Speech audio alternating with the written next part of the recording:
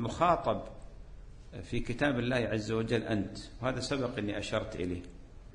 فهي القرآن رسائل من الله رسائل من الله لك أنت.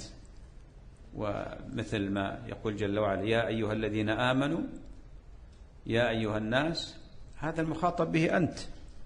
أغلب المسلمين الآن لما يسمع هذه الآيات كأن الذي كأن المخاطب هنا يعيش في كوكب آخر. ولذلك لا تجد تفاعل مع القرآن. ما يتفاعلون مع القرآن. ما في تفاعل. ما في تأثر. ولذلك بعض السلف يقول من الناس من يقرأ القرآن والقرآن يلعنه والعياذ بالله. لماذا؟ لأنه يقرأ القرآن وفي نداءات له من الله عز وجل وهو يخالف هذه النداءات. يخالف هذه النداءات.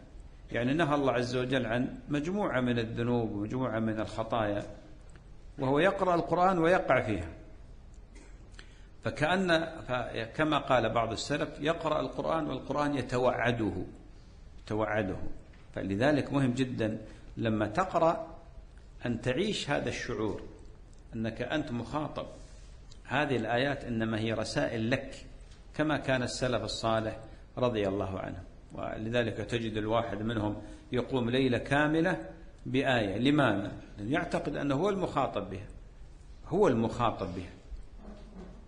فيبقى ليلة كاملة يتأمل ويتدبر في هذه الآية.